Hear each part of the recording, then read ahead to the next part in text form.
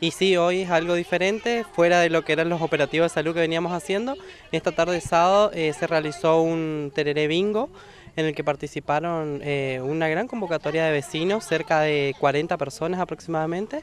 Y bueno, el Grupo Juvenil El Dorado decidió junto con el grupo de, madres del barrio eh, colaborar y bueno, acá estamos colaborando, sirviendo las mesas y realizando diferentes tareas de interacción con los vecinos, ¿no es cierto? ¿Primera experiencia en lo que hace al Tereré Bingo o hicieron alguna otra actividad de este mismo tipo en otro barrio? No, es la primera vez y es algo novedoso porque siempre se suele hacer un té bingo o algo así y en esta oportunidad, bueno, el tereré bingo era por el calor, era lo más adecuado y es la primera vez que lo hacemos y participamos y la verdad que es una iniciativa de las vecinas del barrio del barrio Roulette y nosotros simplemente colaborando de lo que podemos, pero es una experiencia nueva. ¿Otra actividad que están programando?